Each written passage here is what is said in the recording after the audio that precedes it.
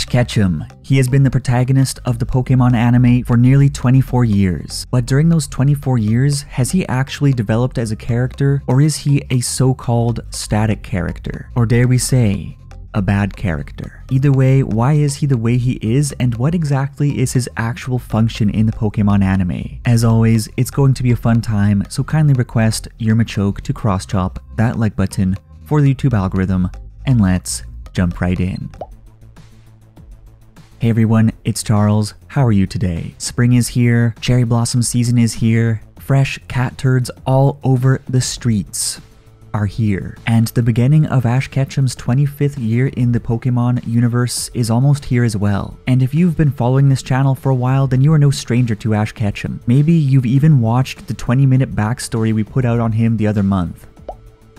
In a nutshell, Ash is a Pokemon trainer who's adventured around the world, persevered through adversity and tough losses, racked up impressive wins, and a host of invaluable friends, overcome opponents who tried to undermine his very worldview, dissuaded genetically engineered kangaroo monsters from being fools by simply running at them, and you get the point. Basically, Ash is this unwavering hero and a role model to both the characters around him as well as to the viewers of the show. Ash has been consistently portrayed as charismatic, selfless, loyal, resourceful, goal-driven, and dedicating his life to etching his name into the annals of Pokemon battling history while also looking out for those around him. However, in spite of his track record of wonderful achievements and an all-star personality, Ash certainly has his critics. In particular, critics who think that his character has been dragged out for too long without sufficient development, that it is unacceptable to have such a static character in the spotlight for such a long time.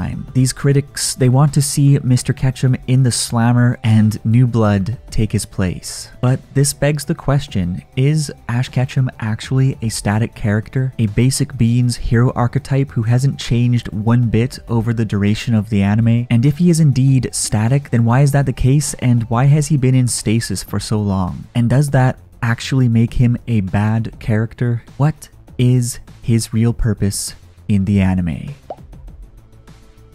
Yes, Ash is a static character to an extent, but it's not entirely true that he hasn't developed, and there's also some interesting context related to his unchanging character. Firstly, much of Ash's static nature is tied to the structure of the Pokemon anime and the function that he's required to play within that structure. As you know, the Pokemon anime is part of a broader multimedia franchise and intended to churn out episodes to support that franchise essentially until the end of time. And in order to fulfill his role as the lead of such a never-ending anime series, Ash was soon molded into this ageless character designed to adventure in perpetuity. A character who can't develop too much or the story would become unrelatable to its target audience. He isn't a character like Goku or Harry Potter or even Deku, characters who age and move along a linear story track with the tone of their stories evolving along with them. Furthermore, the creative direction and the story of Ash himself has been juggled between various teams, directors, and writers at OLM since the late 1990s, and having a multitude of writers pulling his character in different directions makes him quite different from a character like Luffy in the similarly long-running One Piece or even Deku in the more recent My Hero Academia, yay, Season 5, which are each the brainchild of a single person with a character arc and story presumably mapped towards a conclusion. Accordingly, Ash is fairly static even compared to relatively bread and butter but more dynamic heroes like Deku, who has certainly changed since the beginning of his adventure, gaining powers, gaining confidence, gaining greater and greater levels of responsibility, a character who has underwent very clear mental and physical progression in order to contend with increasingly dangerous foes even as mentor figures fade into the background and he is forced to take on one of the most stressful burdens imaginable. Ash, on the other hand, is forced through a new league cycle every three years, often undergoing a soft reset and building a new team team with new companions. However, in spite of what we have just outlined, we can't write Ash off as entirely static, as he actually has undergone development in a variety of ways, particularly over the first decade of the anime he developed from this runty, stubborn, useless little goblin of a trainer into a proper contender, who knew his stuff, could actually overcome his rivals and win competitions, and who even started to act like a bit less of a dunce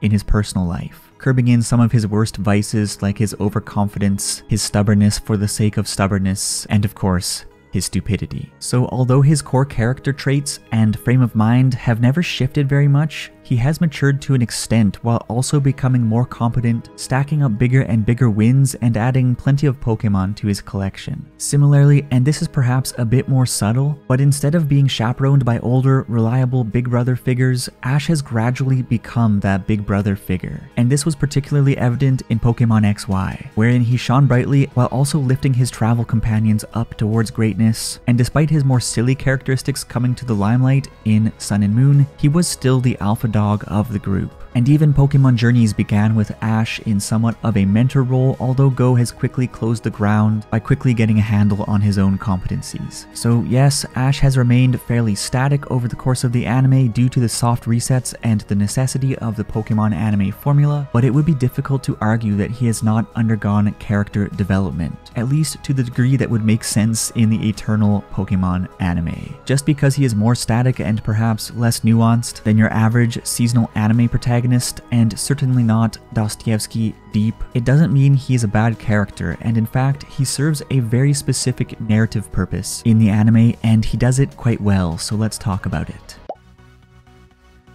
What it boils down to is that Ash, as a character intended to last much like Conan or Doraemon, is a character who is better viewed as one part of something bigger, that bigger thing being the group of companions he travels with. As a constant force operating on a group of companions who are cycled out every three years or so, Ash is essentially an extension of these characters, or perhaps they are an extension of him. This is because, since Ash is saddled with the role of timeless face of the anime, the character development in the Pokemon anime, and the type of transformation transformations that might normally occur through Ash himself if this anime was actually intended to reach a conclusion, this development is actually presented through the supporting cast and their interactions with Ash, which push them along their own arcs leading up to whatever conclusion the soft reset brings, rather than transformation occurring through Ash himself. For instance, May. She initially didn't have any interest in Pokemon at all, but Ash pulled her out of her father's shadow, brought her along on an incredible adventure, mentored her, and through this, she found her calling to become a Pokemon coordinator. And over the course of her adventure with Ash, she grew into a character with both passion and the competencies necessary to blast off with that pursuit. Another example is Serena. Her adventure was set into motion by Ash rescuing her in her early childhood. That life-changing experience caused her to seek him out later in life. They reunited, and his support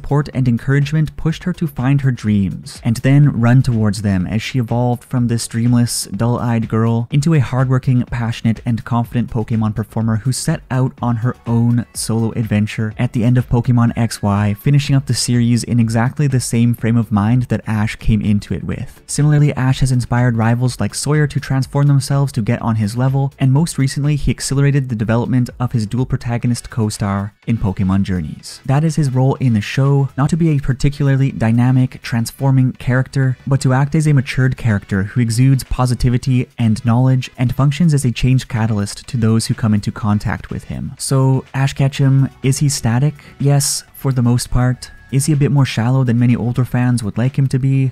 Yes, probably. But is he a bad character? I don't think so. Even as the board is reset every three years and other characters move on with their lives, Ash is always there to inspire the next generation of trainers and to function as a role model to both companions and viewers looking to better themselves, as an embodiment of classic hero characteristics that are as timeless as Ash himself. And I think that when you consider Ash in this light as a positive, constant force within an ecosystem of companions through which he is vicariously developed in a sense, as if these characters are fragments of of him that grow and go off and do their own things, even as he must continue his duty to carry the torch forward as the eternal beating heart of the Pokemon anime, I think he's pretty good. But how about you? Is Ash a good character or a bad character? Is he as static as people say, or has he changed over time? And do you think he will ever retire? I'm curious what you think. Well, thank you everyone for tuning in. I hope you all have a wonderful day, and as always, let's chat.